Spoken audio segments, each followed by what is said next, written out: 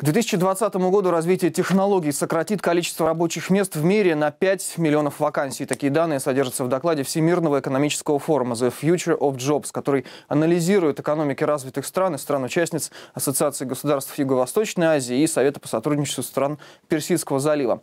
О том, чего нам ждать в ближайшем будущем и стоит ли переживать за наши с вами рабочие места, мы поговорим с Еленой Гебель, доцентом факультета информационных систем и компьютерных технологий Омского государственного технического университета. Елена Сергеевна, вот ваш профиль автоматизация, робототехника. Какие сферы роботизируются быстрее всего? То есть кому уже сейчас следует начинать потихоньку искать работу? Можно говорить о э, профессиях рабочих специальностей это э, однозначно, поскольку промышленные роботы в промышленности э, в настоящий момент за рубежом применяются повсеместно, и э, механообработка, покраска, э, сварка и так далее. Это такие э, профессии, как медработник, почта. Это военные специальности. Не, ну, послушайте, вот с, с почтой понятно, да, там можно автоматизировать процессы, но как быть с медсестрой, да? Нужно, как, в какой-то момент нужно будет принять экстренное решение какое-то, которое машина, возможно, примет неправильно или не сможет принять вообще. А что делать человеку с зависшим, с зависшим терминалом, когда он находится в каком-то состоянии для этого э, есть система управления, которая оповещает о возникновении э, экстренной ситуации. Человек не исключается из системы полностью, но э, минимизируется его участие в этом процессе до какого-то определенного значения. То есть в таких случаях человек не останется наедине с машиной, у него все равно будет возможность каким-то образом перейти все равно на живого человека, который уже сможет Безусловно. войти в положение.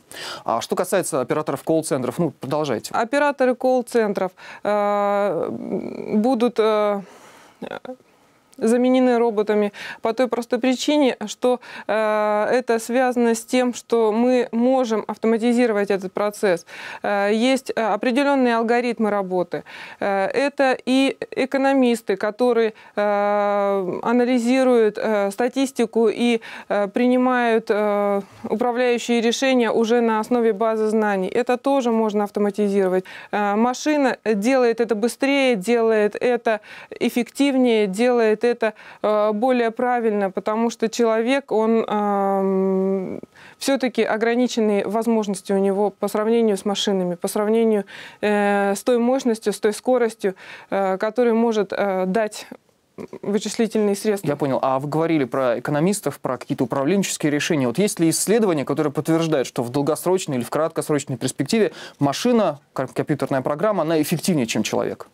А, таких исследований в настоящий момент очень много. Созданием интеллект... Э, искусственного интеллекта занимаются ученые во всем мире в связи с огромным объемом информации, э, который человечество уже накопило, и необходимостью ее разработки. Э, в связи с расширением и глобализацией бизнеса доверять такие ответственные решения человеку становится все более сложно. А, продолжим про искусственный интеллект. Вот сейчас Сбербанк вкладывает 150 миллионов рублей в разработку искусственного интеллекта для обработки запросов пользователей. Вот спрос большой, а как сейчас развивается производство, разработка таких алгоритмов? Вот вы говорили, что искусственным интеллектом занимается во всем мире. Но как сейчас движется этот процесс? Ну, а... Сейчас э, создаются в большей степени теоретические модели, и эти модели э, проходят отладку на э, реальных э, данных э, для того, чтобы оценить их адекватность. Говорить о завершенности, о создании э, некоторого э, готового программного продукта еще очень рано. Ну хорошо, то есть мы не можем сказать, что к 2025 году нас уже завоюет Skynet. Нет. А насколько технологические предприятия в России готовы внедрять роботизированные программное производство внедрять компьютерные программы для автоматизации процессов? Э, наши промышленные предприятия э, сейчас, э, по всей видимости, не готовы.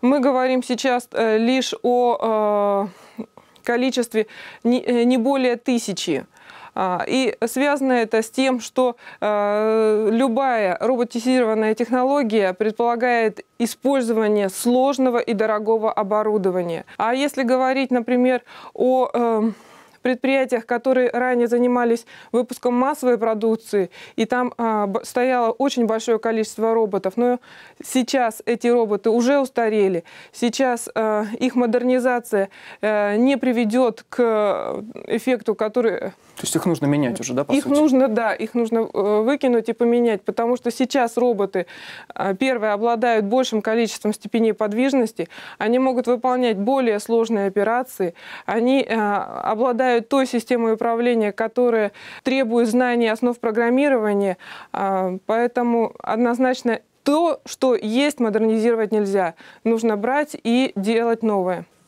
Спасибо большое, Елена Сергеевна, что нашли время, ответили на наши вопросы. А я напомню, у нас в гостях был доцент факультета информационных технологий и компьютерных систем Омского государственного технического университета Елена Гебель. Мы говорили о будущей роботизации, связанной с ней очередной технической революцией в жизни человечества.